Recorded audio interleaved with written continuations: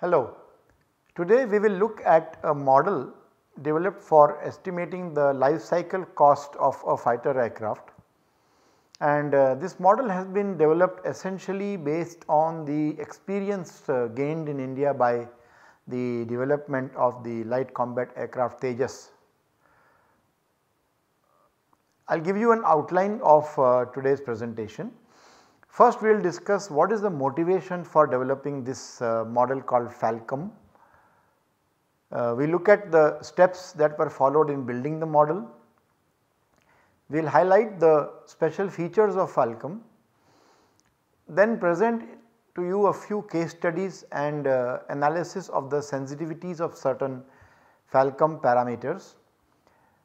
We want to address the question how Indian is Falcom because uh, as I mentioned it was a, a, model developed based on the experience gained uh, in developing of the light combat aircraft and also we will look at uh, the conclusions of this particular work and highlight some areas in which future work is possible to further improve and upgrade this model. Just a quick recap about aircraft life cycle cost you already know because I hope you have seen the videos regarding the lecture on aircraft cost and LCC. Essentially LCC is over the life cost of the aircraft which starting from its inception through design and development till its uh, development and flyaway. Then after it goes in service there is support and investment. Then there would be operational and support during its entire life of operation. This is the largest component of the LCC usually. At the end of the life there is a disposal. Okay. Now why it is important to look at LCC for any aircraft and especially so in the case of fighter aircraft is to see how we can reduce the cost. The costs have to be reduced because of social requirements no one can afford to have a very expensive aircraft and the inflation is hitting all of us very badly. There has been a paradigm shift in the way aircrafts are designed. Earlier we were looking at performance at any cost. This was the design paradigm for let us say the Wright Flyer or so many aircraft we were uh, which were designed to do something for the first time, achieve performance at any cost. Slowly when the technology of aircraft matured there was a paradigm called as design to cost. That means uh, there is a fixed cost given a priori and we are told as a design team that you do whatever best you can but design so that the cost is not exceeded. But now the paradigm is there is a particular life cycle cost which is specified and we have to design the aircraft to meet that life cycle cost. The other benefit of having um, a life cycle cost model is to identify the areas in which costs can be reduced and this, this particular tool can also become a tool for acquisition of aircraft. So, if there are let us say few competing bidders who are trying to bid an aircraft for supply then this a model like this can also be used to evaluate various aircraft and to find out which of them is going to end up with a larger life cycle cost. Uh, also we have to keep in mind that majority of the life cycle cost actually gets determined very early. As we can see that uh, this particular line shows you how much of the life cycle cost has actually been expended as we produce uh, as we uh, proceed further in the design from concept exploration or the conceptual design to program definition, risk reduction, engineering, manufacturing, development and production and deployment. So, right up to the conceptual exploration cost you know the percentage of the cost already spent is actually very very small whereas nearly nearly 60 to 70 percent of the cost is locked in because of the design choices we have made. As we go further more and more money gets spent the steepest amount of money the steepest rise you see is when it goes into production, field development and operational costs. But at that time you can see that the amount of the life cycle cost. So, by this time 3 fourth or more of the life cycle costs are already decided where only a small amount of money is spent and hence a model like this is very useful. Let us look at what are the existing LCC models. Okay. So, US Air Force has models developed in 80s, 70s and 80s very old now. Uh, there are some parametric models available. There are some proprietary models available with companies who do not want to share them or they will charge. In India the DRDO lab CASSA Center for Airborne Systems Studies Analysis in Bengaluru they had developed a model for cost estimation and it is called as a CASSA model. So, what we did is we first studied the various LCC models available by the US Air Force in which all these terms of the uh, life cycle cost are uh, investigated. There are models like BASE and CASE and LSC, LCOM etc., etc. and then there is a famous DAPCA model which we have also used in our uh, tutorials one for Boeing 787-8 and the other for uh, the uh, Global Hawk aircraft and then there is one called Price. All these models were studied and their good features and uh, limitations were identified. So, what were the lessons learnt? The lesson that was learned is that we do not want a cost model that is sensitive only to a few elements of the life cycle, we want it to be for all. Then there should not be too many input parameters to play with because otherwise you will not be able to make a, even a proper start. There should be some uh, scope for judgment or fudge factors because every country, every operational scenario has differences. So, therefore, certain uh, cost terms are higher or lower in certain operating scenarios. We should be able to upscale or downscale the costs based on our judgment and fudge factors. Uh, even the models by Roskam and Raymer and Burns they all have some fudge factors there is a material fudge factor, there is a fudge factor for uh, the hours that are needed. Okay. So, similarly uh, the major LCC parameters for the operational and support costs have to be included. Uh, CASSA and Raymer uh, have uh, developed models for this and finally we have also seen during our study that LCC is inversely proportional to mass. So, lighter the aircraft better is the LCC. This particular thing is also established by a model called DARA. What was the motivation for developing this new model Falcom when there are so many models available? Okay. First thing is we need parametric model. So, if you look at pre uh, in the parametric models which are available the data is statistical and that is pre 1970. The relationships are derived historically okay, and they, they produce very broad based cost estimates which are of questionable validity and their relevance may not be there in all scenarios. Then there are some proprietary models as I mentioned the costs are prohibitive to use them okay. And then even if you even if you buy a proprietary model you have to spend a lot of money in getting it customized to your requirements and we have no control in the uh, developmental process of these models they are developed based on some other requirements and we just have to be we are forced to basically just use them.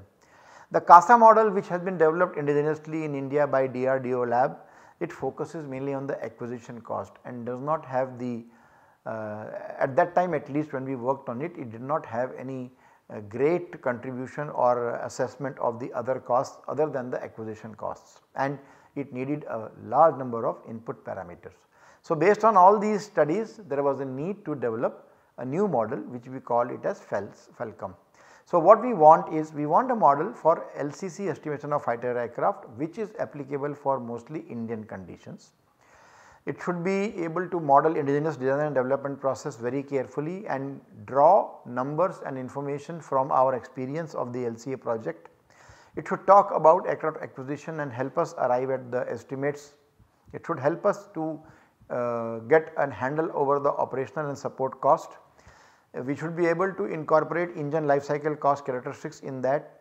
We should be able to put in some economic considerations and it should be able to be applied for current generation aircraft and not only to the old aircraft. So, with that uh, I present to you details of Falcom the fighter aircraft life cycle cost model FALCCM. Let us start with how the model was built. So, to build this model we had some cost elements. So, the first important cost element is the development cost we call it as D, then we have flyaway cost, then we have support investment cost, engine operation and support cost, aircraft operation and support cost and then we have introduced a new element for midlife upgrade cost. This is missing in many of the models. This is a small feature of Falcom which is kind of unique and in the end we have some model for the disposable cost uh, for the disposal costs. Okay. So, let us see how the input parameters work. So, what we have to give is we have to give these numbers to this model. We have to give the number of aircraft which are to be acquired if we are purchasing or to be manufactured. We have to give how many flight hours per year we expect to use this aircraft. This comes from the data from the user agency which is in India the Indian Air Force. Uh, we also need to have a target for what is our maintenance man hours per flight hour uh, that we expect to have on this particular aircraft. Then there are certain factors. There is one factor called as ADMF which is the aircraft design and manufacture factor. Uh, so, these are basically complexity factors. Okay. So, the, uh, the model increases or decreases cost of certain elements based on the numerical value of these complexity factors. So, one is how complex the aircraft is and what is the manufacturer's uh, current status that comes under C1. Then you have technology level factor TLF. Okay. So, TLF or C2 takes care of what kind of technology is being used in this particular aircraft. Is it current level technology? Is it very far reaching technology or is it medium level technology? So, some assessment has to be made regarding the level of technology because that will strongly affect the cost.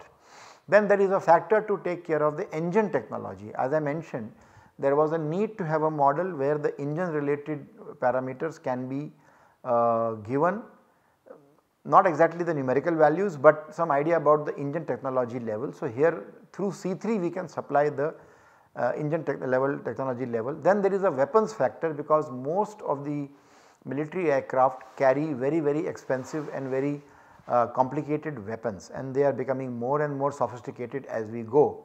So, each new weapon which gets integrated in the uh, aircraft brings with it a lot of cost in design, in development and in testing and evaluation and approvals.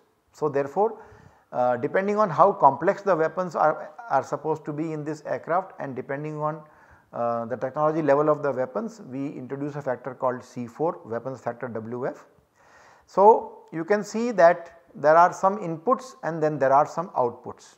Okay. So, we have to see now how all these things work in one shot. So, in the model we first look at development cost, flyaway cost, support investment cost, operations and support cost, engine operations support as a part of it, midlife upgrade and disposal. These are the elements that we need. Okay. Ultimately these are the outputs that we need.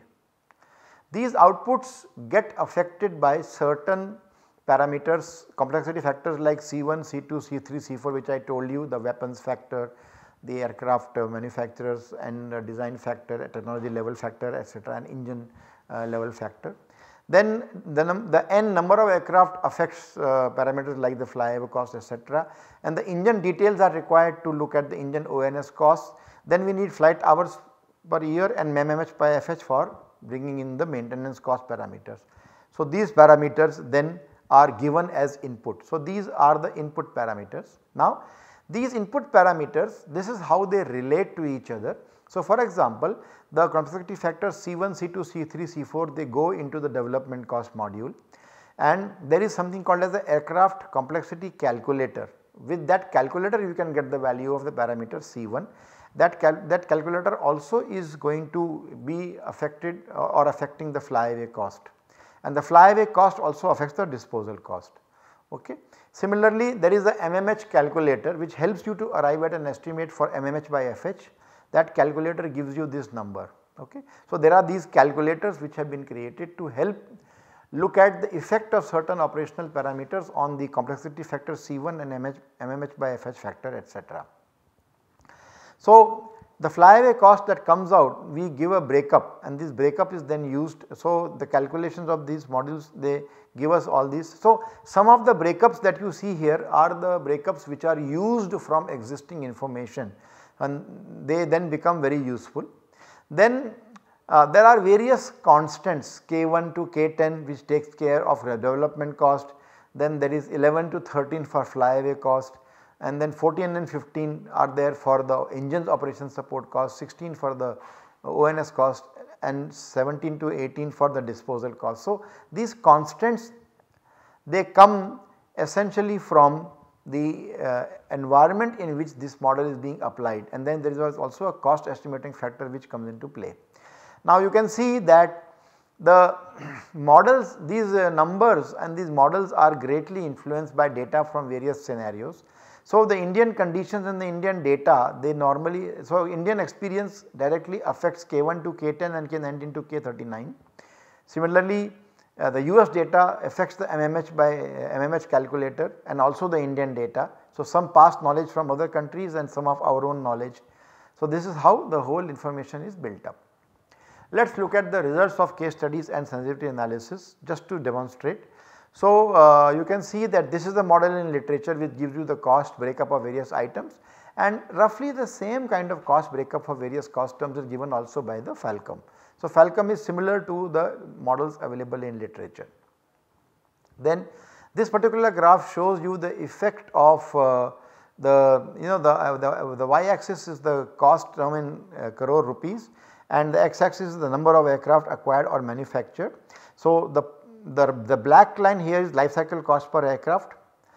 The, the this particular crimson or purple line is the line which corresponds to the cost of unit development cost and the unit flyaway cost which is varying from 100 to you know 86 crores this is uh, for the flyaway cost. Similarly, this, this graph shows the effect of number of aircraft produced, how it brings down the costs. This graph shows the effect on the flight hours, annual uh, utilization of the aircraft, how does it affect the costs, various costs. So, we see for example that the unit development cost does not change much, okay, whereas there is a huge change if in the the blue line which is the uh, operation and support cost you know it goes from 99.97 or 100 crores to 239 crores. It is like a huge change because of the number of flight hours per year, year varying from 120 to 300. Similarly, the effect of MMH by FH can be seen as a linear variation here. Here on the y axis we have the cost in crores, on the x axis we have the number of MMH by FH. So, if there are as low as 10 you get a very low cost, but if they become 40 it becomes very high cost. In fact, it is doubling. So, the this particular line the life cycle cost per aircraft increases from 300 to 666 if the number of uh, maintenance man hours per flight hours is becoming 4 times more.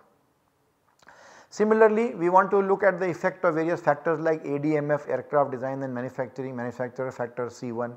Okay. Similarly, uh, how it affects the how these factors uh, how does this factor affect. So, the, the factor is varying from 1 to 2.3 and you can see that it is greatly affecting the unit flyaway cost in blue color and the unit development cost in the uh, dark brown or, or, or, purple color. Similarly, if you look at S the, the factor that affects, uh, so this is the aircraft design and manufacturing complexity factor that varies from 1 to 2.37 in this figure and you can see how the support investment cost increases from 13 to 39 uh, crores. Similarly, operation and support and LCC costs. So, this model allows you to look at the variation in the costs based on all these uh, uh, the change in all these parameters. We did a case study for an advanced fighter aircraft and we got these kind of trends okay. And then we also looked at the impact of factors like the technology level, engine technology factor and the weapons factor, how they affect the cost. So, weapon factors for example affects quite a lot from 1 to 1.5 okay.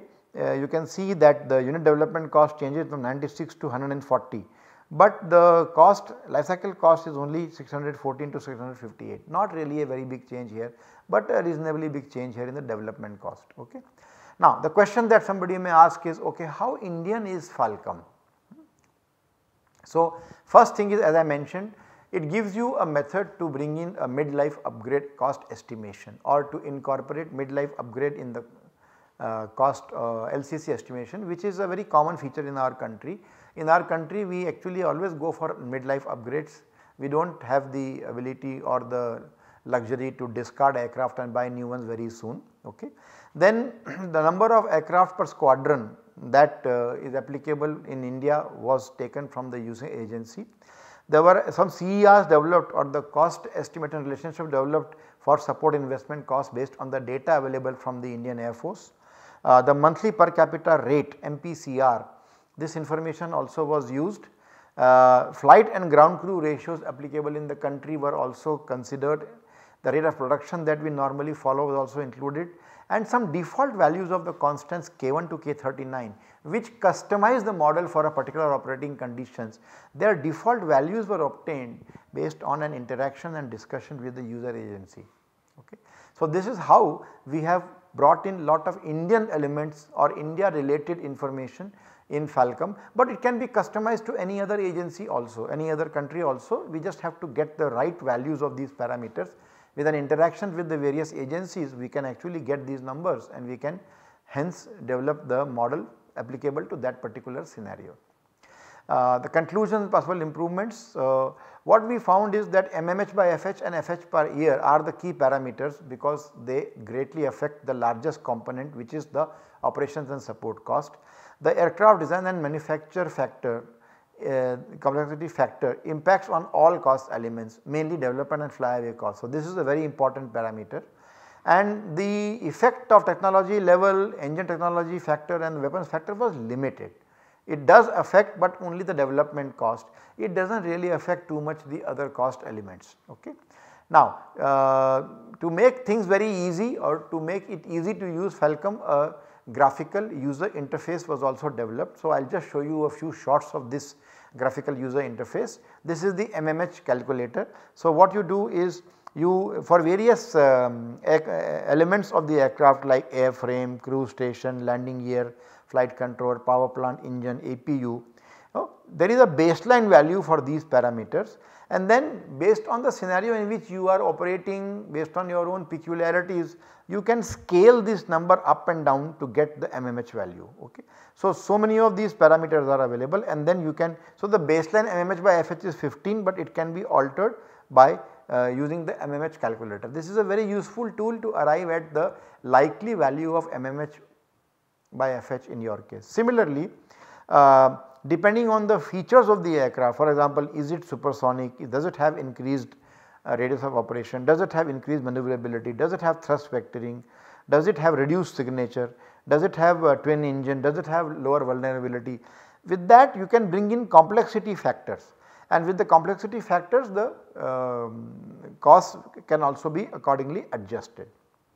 Similarly, here is the output screen. So, there are all these tabs which allow you to include the information and then finally you get the numerical value of development cost, flyaway cost, support investment cost and all the cost terms and uh, then you can just uh, also plot the information. Then you can also investigate various scenarios like you say increase so much percentage for a particular feature, reduce for so and so feature and then you can recompute the cash. So, there are some constants which can be reset. And finally, we have also incorporated a small graphing facility where the results that you obtain can be actually graphed and you can obtain plots that illustrate the output. So, it becomes easy for you to share okay.